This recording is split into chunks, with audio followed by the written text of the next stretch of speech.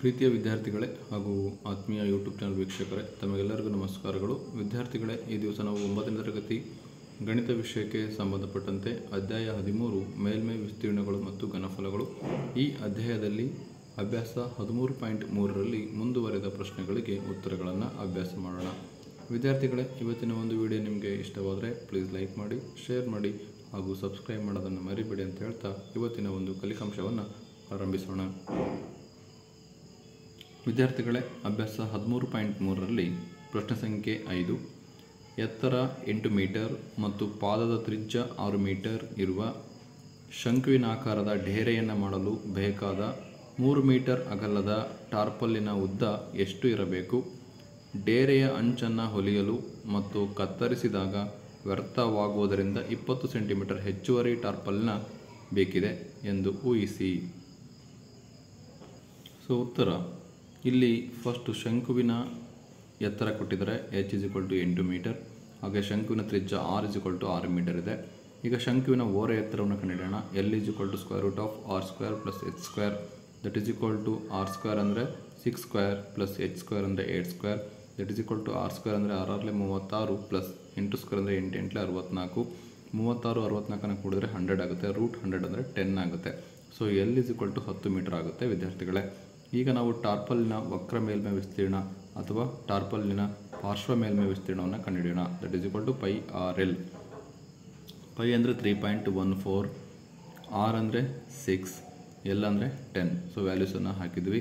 ಇವಾಗ ಅಷ್ಟನ್ನು ಗುಣಾಕಾರ ಮಾಡಿದಾಗ ನಮಗೆ ನೂರ ಎಂಬತ್ತೆಂಟು ಪಾಯಿಂಟ್ ನಾಲ್ಕು ಸೊನ್ನೆ ಮೀಟರ್ ಸ್ಕ್ವೇರ್ ಆಗುತ್ತೆ. ಇದು ಟಾರ್ಪಲ್ನ ಪಾರ್ಶ್ವ ಮೇಲ್ಮೈ ವಿಸ್ತೀರ್ಣ ಆಗಿದೆ, ವಿದ್ಯಾರ್ಥಿಗಳೇ. ಸೊ ಇದರಲ್ಲಿ ಡೇರೆಯನ್ನು ಮಾಡಲು ಬೇಕಾದ ಮೂರು ಮೀಟರ್ ಅಗಲದ ಟಾರ್ಪಲ್ನ ಉದ್ದ ಕೇಳಿದ್ದಾರೆ ಸೊ ಡೇರೆಯನ್ನು ಮಾಡಲು ಬೇಕಾದ ಮೂರು ಮೀಟರ್ ಅಗಲದ ಟಾರ್ಪಲ್ನ ಉದ್ದ ಇಸ್ ಈಕ್ವಲ್ ಟು ಅಷ್ಟು ವಿಸ್ತೀರ್ಣ ಎಷ್ಟಿದೆ, ವಕ್ರ ಮೇಲ್ಮೈ ವಿಸ್ತೀರ್ಣ ನೂರ ಎಂಬತ್ತೆಂಟು ಪಾಯಿಂಟ್ ನಾಲ್ಕು ಸೊನ್ನೆ. ಸೊ ಅದನ್ನು ನಾವು ಮೂರಿಂದ ಬಾಗಿಸಿದಾಗ ಡೇರೆಯನ್ನು ಮಾಡಲು ಬೇಕಾದ ಮೂರು ಮೀಟರ್ ಅಗಲದ ಟಾರ್ಪಲ್ನ ಉದ್ದ ನಮಗೆ ಸಿಗುತ್ತೆ. ಜೊತೆಗೆ ಇಲ್ಲಿ ಡೇರೆನ ಮಾಡಬೇಕಾದ್ರೆ ಅಂಚನ್ನು ಹೊಲಿಯಲು ಮತ್ತು ಕತ್ತರಿಸಿದಾಗ ಇಪ್ಪತ್ತು ಸೆಂಟಿಮೀಟರ್ ಹೆಚ್ಚುವರಿ ವ್ಯರ್ಥ ಆಗುತ್ತೆ. ಸೊ ಇದನ್ನು ನಾವು ಸೇರಿಸಬೇಕಾಗುತ್ತೆ ಆ್ಯಡ್ ಮಾಡೋಕ್ಕಾಗುತ್ತೆ ಹಾಗೆ ಇಪ್ಪತ್ತು ಸೆಂಟಿಮೀಟರ್ನ ಮೀಟ್ರಲ್ಲಿ ಬರೆದ್ರೆ ಜೀರೋ ಪಾಯಿಂಟ್ ಟೂ ಜೀರೋ ಆಗುತ್ತೆ. ಸೊ ನೂರ ಎಂಬತ್ತೆಂಟು plus zero point two zero into three by three ಮಾಡಿದರೆ, ಇಲ್ಲಾಂದರೆ ನೂರ ಎಂಬತ್ತೆಂಟು ಪಾಯಿಂಟ್ ನಾಲ್ಕು ಸೊನ್ನೆ ಮೂರಿಂದ ಬಾಗಿಸಿದ್ರೆ ಅರವತ್ತೆರಡು ಪಾಯಿಂಟ್ ಎಂಟು ಸೊನ್ನೆ ಆಗುತ್ತೆ ಪ್ಲಸ್ ಜೀರೋ ಪಾಯಿಂಟ್ ಎರಡು ಸೊನ್ನೆ. ಸೊ ಇವೆರಡನ್ನು ಕೂಡಿ ಸಿಕ್ಸ್ಟಿ ತ್ರೀ ಆಗುತ್ತೆ. ಡೇರೆಯನ್ನು ಮಾಡಲು ಬೇಕಾಗದ ಮೂರು ಮೀಟರ್ ಅಗಲದ ಟಾರ್ಪಲ್ನ ಉದ್ದ ಅರವತ್ತು ಮೀ ಅರವತ್ತ್ಮೂರು ಮೀಟರ್ ಆಗುತ್ತೆ ವಿದ್ಯಾರ್ಥಿಗಳೇ. ಸೊ ಇದು ಐದನೇ ಪ್ರಶ್ನೆಗೆ ಉತ್ತರ ಆಗಿದೆ. ಈಗ ಮುಂದಿನ ಪ್ರಶ್ನೆಯನ್ನು ಅಭ್ಯಾಸ ಮಾಡೋಣ. ಪ್ರಶ್ನೆ ಸಂಖ್ಯೆ ಆರು. ಒಂದು ಶಂಕುವಿನ ಆಕಾರದ ಗುಮ್ಮಟದ ಓರೆ ಎತ್ತರ ಮತ್ತು ಪಾದದ ವ್ಯಾಸವು ಕ್ರಮವಾಗಿ ಇಪ್ಪತ್ತೈದು ಮೀಟರ್ ಮತ್ತು ಹದಿನಾಲ್ಕು ಮೀಟರ್ ಆಗಿದೆ. ಪ್ರತಿ ನೂರು ಮೀಟರ್ ಸ್ಕ್ವೇರ್ಗೆ ರು ಎರಡುನೂರ ಹತ್ತರಂತೆ ಅದರ ವಕ್ರ ಮೇಲ್ಮೈಗೆ ಸುಣ್ಣ ಬಳಿಯಲು ಆಗುವ ವೆಚ್ಚವನ್ನು ಕಂಡುಹಿಡಿಯಿರಿ ಅಂತ ಪ್ರಶ್ನೆ ಇದೆ. ಸೊ, ಪ್ರಶ್ನೆಯಲ್ಲಿ ಏನು ಕೊಟ್ಟಿದ್ರೆ ಅಂತ ಬರೆಯೋಣ. ಶಂಕುವಿನಾಕಾರದ ಗುಮ್ಮಟದ ಓರೆ ಎತ್ತರ ಮತ್ತು ಪಾದದ ವ್ಯಾಸ ಇದೆ. ಓರೆ ಎತ್ತರ ಎಲ್ ಇಸ್ ಇಕ್ವಲ್ ಟು ಇಪ್ಪತ್ತೈದು ಮೀಟರ್, ವ್ಯಾಸ ಡಿ ಇಸ್ ಇಕ್ವಲ್ ಟು ಹದಿನಾಲ್ಕು ಮೀಟರ್. ಡಿ ಹದಿನಾಲ್ಕು ಮೀಟರ್ ಆದರೆ ತ್ರಿಜ್ಯ ಇದರ ಅರ್ಧದಷ್ಟಿರುತ್ತೆ. ಆರ್ ಇಸ್ ಇಕ್ವಲ್ ಟು ಏಳು ಮೀಟರ್ ಆಗಿದೆ.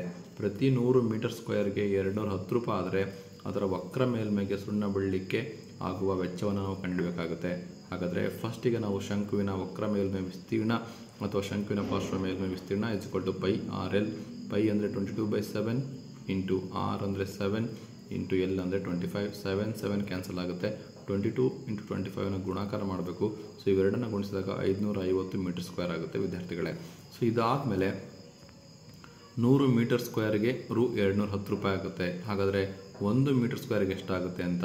ಸೊ ಎರಡುನೂರ ಹತ್ತನ್ನು ನೂರಿಂದ ಭಾಗಿಸಿದಾಗ ನಮಗೆ ಟೂ ಪಾಯಿಂಟ್ ಒನ್ ಬರುತ್ತೆ. ಅಂದರೆ ಒಂದು ಮೀಟರ್ ಸ್ಕ್ವೇರ್ಗೆ ಎರಡು ರೂಪಾಯಿ ಟೂ ಪಾಯಿಂಟ್ ಒನ್ ರುಪೀಸ್ ಆಗುತ್ತೆ. ಯಾವುದಕ್ಕೆ? ಸುಣ್ಣ ಬೀಳಲಿಕ್ಕೆ ಹಾಗಾದರೆ ಟೋಟಲ್ ವಿಸ್ತೀರ್ಣ ಎಷ್ಟಿದೆ? ಐದುನೂರ ಐವತ್ತು ಮೀಟರ್ ಸ್ಕ್ವೇರ್ಗೆ ಸುಣ್ಣ ಬೆಳಿಬೇಕು ಅಂದರೆ ಎಷ್ಟು ದುಡ್ಡು ಖರ್ಚಾಗುತ್ತೆ ಅಂತ ಕೇಳಿದರೆ, ಹಾಗಾದರೆ ಐದುನೂರ ಐವತ್ತು metre square is equal to ಐದುನೂರ ಐವತ್ತು into two point one so ಇವೆರಡನ್ನು ಗುಣಾಕಾರ ಮಾಡಿದರೆ ಒಂದು ಸಾವಿರದ ಒಂದು ನೂರ ಐವತ್ತೈದು ರೂಪಾಯಿ ಆಗುತ್ತೆ, ವಿದ್ಯಾರ್ಥಿಗಳೇ. ಇದು ಆರನೇ ಪ್ರಶ್ನೆಗೆ ಉತ್ತರ ಆಗಿದೆ. ಸೊ, ಈಗ ಮುಂದಿನ ಪ್ರಶ್ನೆಯನ್ನು ಅಭ್ಯಾಸ ಮಾಡೋಣ. ಪ್ರಶ್ನೆ ಸಂಖ್ಯೆ ಏಳು. ಒಬ್ಬ ವಿದೂಷಕನ ಟೋಪಿಯು ನೇರ ವೃತ್ತಾಕಾರದ ಶಂಕುವಿನ ಆಕಾರದಲ್ಲಿ ಇದೆ. ಅದರ ಪಾದದ ತ್ರಿಜ್ಯ ಏಳು ಸೆಂಟಿಮೀಟರ್ ಮತ್ತು ಎತ್ತರ ಇಪ್ಪತ್ನಾಲ್ಕು ಸೆಂಟಿಮೀಟರ್ ಆದರೆ ಅಂತಹ ಹತ್ತು ಟೋಪಿಯನ್ನು ತಯಾರಿಸಲು ಬೇಕಾದ ಹಾಳೆಯ ವಿಸ್ತೀರ್ಣವನ್ನು ಕಂಡುಹಿಡಿಯಿರಿ ಅಂತ ಇದೆ ಸೊ, ನೇರ ವೃತ್ತಾಕಾರದ ಶಂಕುವಿನ ಆಕಾರದಲ್ಲಿ ಟೋಪಿ ಇದೆ. ಅದರ ಪಾದದ ತ್ರಿಜ್ಯ ಇದೆ. ಆರು ಇಜಿಕೊಟ್ಟು ಏಳು ಸೆಂಟಿಮೀಟರ್.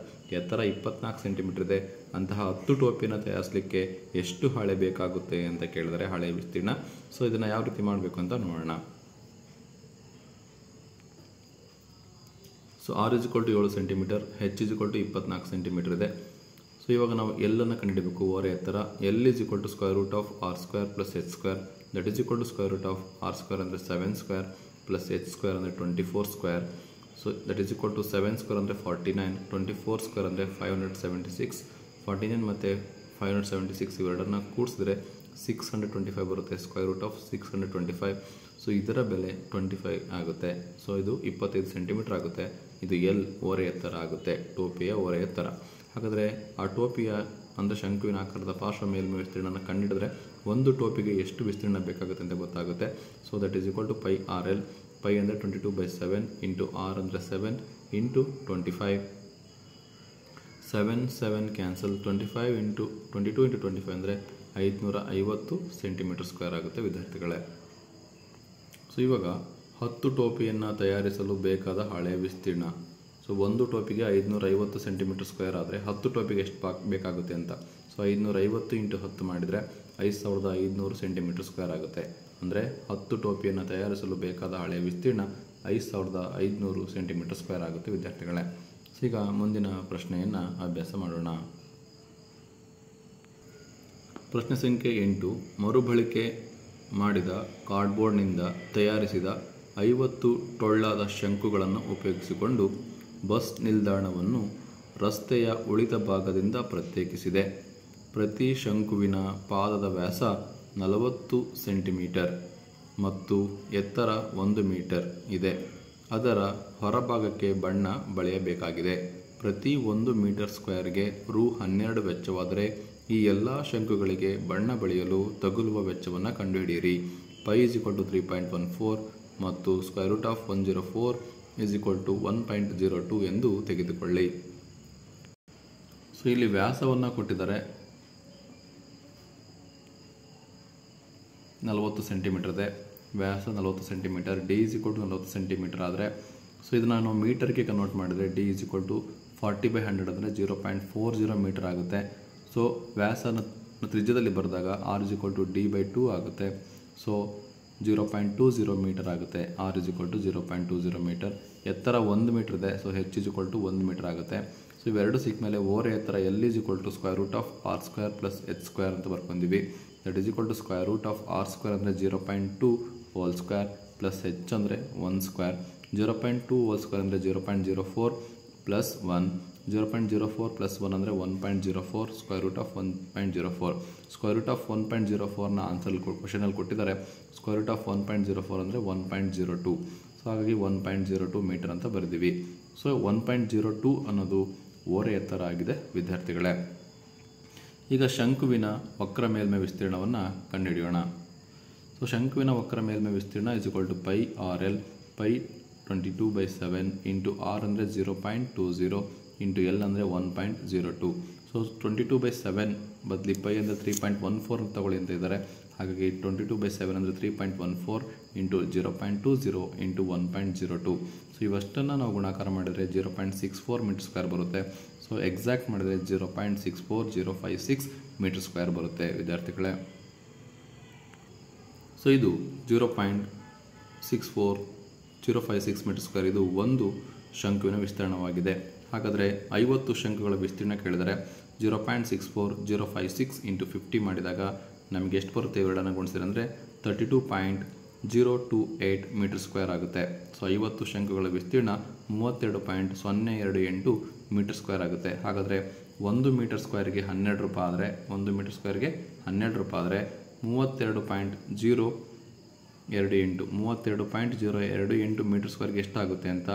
ಹಾಗಾದರೆ ಮೂವತ್ತೆರಡು ಪಾಯಿಂಟ್ ಸೊನ್ನೆ ಎರಡು ಎಂಟು ಇಂಟು ಹನ್ನೆರಡು ಮಾಡಿದರೆ ನಮಗೆ ಮುನ್ನೂರ ಎಂಬತ್ನಾಲ್ಕು ಪಾಯಿಂಟ್ ಮೂರು ಮೂರು ಆರು ಬರುತ್ತೆ. ಸೊ, ಇದನ್ನು ಸರಿಸುಮಾರಾಗಿ ಮುನ್ನೂರ ಎಂಬತ್ನಾಲ್ಕು ಪಾಯಿಂಟ್ ಮೂರು ನಾಲ್ಕು ರೂಪಾಯಿ ಅಂತ ಹೇಳಿ ಬರಿಬೋದು ವಿದ್ಯಾರ್ಥಿಗಳೇ. ಸೊ, ಇದು ಎಂಟನೇ ಪ್ರಶ್ನೆಗೆ ಉತ್ತರವಾಗಿದೆ.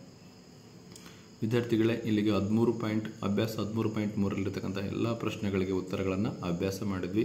ಸೊ ಮುಂದಿನ ವಿಡಿಯೋದಲ್ಲಿ ಮುಂದುವರೆದ ಕಲಿಕಾಂಶವನ್ನು ಅಭ್ಯಾಸ ಮಾಡೋಣ ಅಂತ ಹೇಳ್ತಾ ಇವತ್ತಿನ ಒಂದು ವಿಡಿಯೋವನ್ನು ಮುಗಿಸ್ತಾ ಇದ್ದೀನಿ. ಇವತ್ತಿನ ಒಂದು ವಿಡಿಯೋ ನಿಮಗೆ ಇಷ್ಟವಾದರೆ ಪ್ಲೀಸ್ ಲೈಕ್ ಮಾಡಿ ಶೇರ್ ಮಾಡಿ ಹಾಗೂ ಸಬ್ಸ್ಕ್ರೈಬ್ ಮಾಡೋದನ್ನು ಮರಿಬೇಡಿ ಅಂತ ಹೇಳ್ತಾ thank you for watching this video